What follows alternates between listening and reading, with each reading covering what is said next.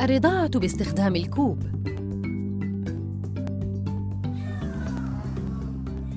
إذا كان الطفل الصغير الحجم قادراً على البلع، لكنه لا يرضع من ثدي أمه بما يكفي، علم الأم كيفية إرضاع طفلها باستخدام الكوب.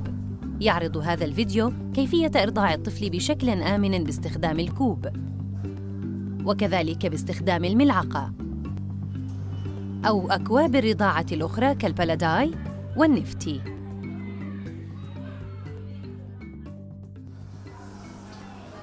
الرضاعة باستخدام الكوب تتطلب الممارسة والصبر، إلا أنها طريقة فعالة وآمنة في حال معرفة كيفيتها.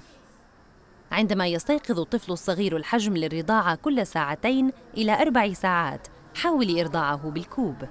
ويعتبر الطفل جاهزاً لذلك عندما يبلع الحليب دون أن يسعل أو يختنق أو أن يزرق. ساعد الأم في التعرف على علامات استعداده للرضاعة. تكون عيناه مفتوحتان وينظر حوله. ويحرك فمه ولسانه. أرضع الطفل عندما يظهر علامات الجوع. علم الأم كيفية الإرضاع بالكوب. باستعراض الخطوات اولا. ومن ثم توجيهها أثناء إرضاعها لطفلها.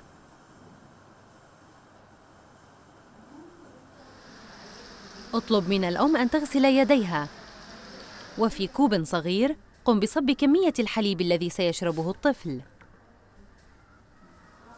بعد ذلك اطلب من الأم تغطية طفلها ووضعه في حضنها بشكل مستقيم تقريباً. وأن تسند رأسه وعنقه بيدها. تضع الأم الكوب برفق على شفة طفلها السفلية. ثم تميل الكوب إلى أن يصل الحليب إلى الحافة العلوية ويأخذ الطفل الحليب.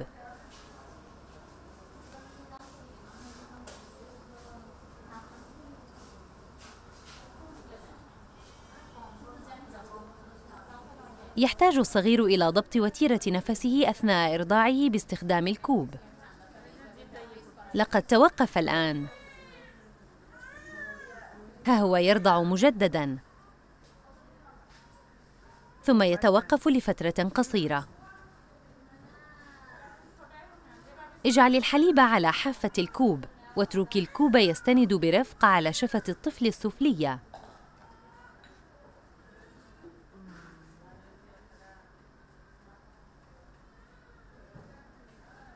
اترك الطفل يرضع ثم لاحظي علامات اكتفائه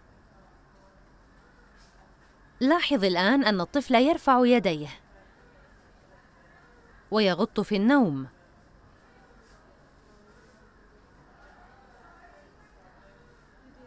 تقديم رأيك للأم وتشجيعها سيبني ثقتها بنفسها في إرضاع طفلها. هذا مثال آخر. نلاحظ من جديد وضع الكوب برفق على شفة الطفل السفلية تميل الأم الكوب ليصل الحليب إلى حافة الكوب. ويبدأ الطفل بالرضاعة.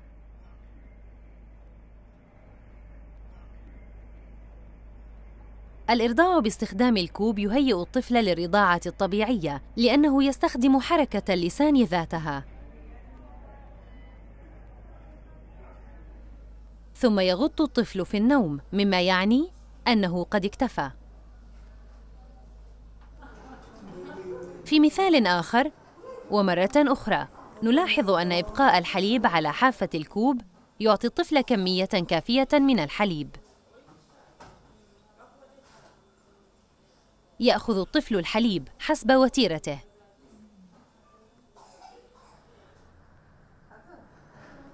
ومشيرا إلى أنه اكتفى يقوم بإغلاق فمه.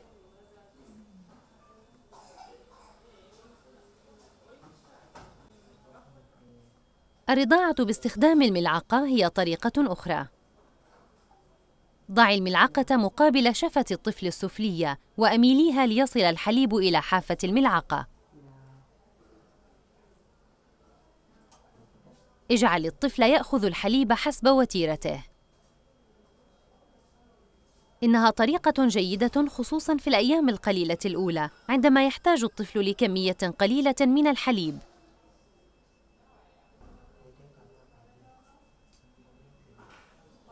البلاداي هو كوب صغير بمقدمة مدببة طويلة يستخدم لإرضاع الأطفال في جنوب آسيا. ضعي حافة كوب البلاداي داخل فم الطفل. يبقى الحليب على الحافة.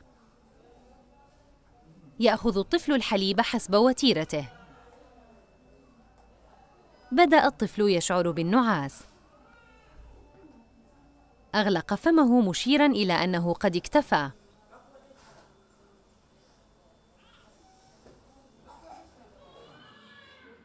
أما كوب النفتي فهو يحوي حوضاً عند حافته. ضعيه داخل فم الطفل تماماً. عندما يمص الطفل الحليب قومي بإمالة الكوب قليلاً لإضافة الحليب إلى الحوض عندما يفرغ.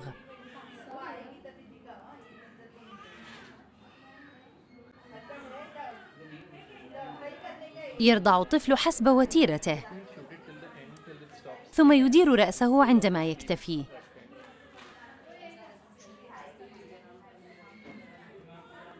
الإرضاع باستخدام الكوب يجب أن يكون مريحاً للطفل. تجنب الضغط بشدة على شفة الطفل السفلية أو إدخال الكوب بشدة إلى فمه.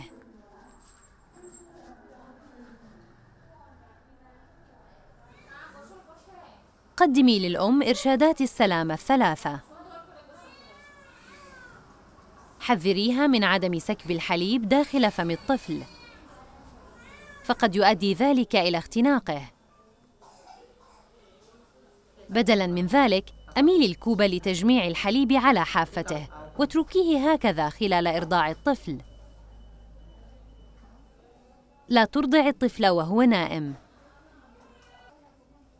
بل قومي بإرضاعه عندما يومئ أنه جائع.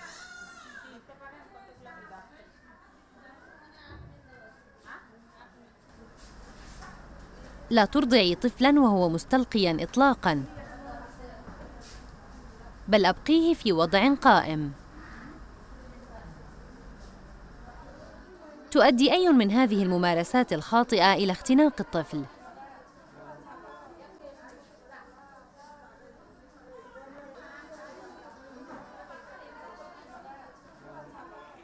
قيسي كمية الحليب التي شربها الطفل على مدى الأربع وعشرين ساعة.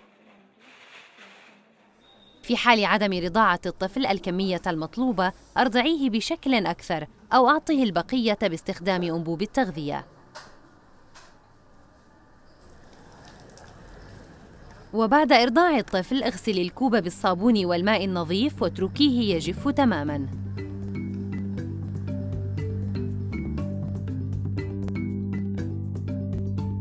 تذكري أرضع الطفل عندما يومئ بأنه جائع. ضعي الطفل بشكل قائم. ضعي الكوب بحيث يكون الحليب على مستوى حافة الكوب. سيومئ الطفل لك عندما يكتفي من الحليب.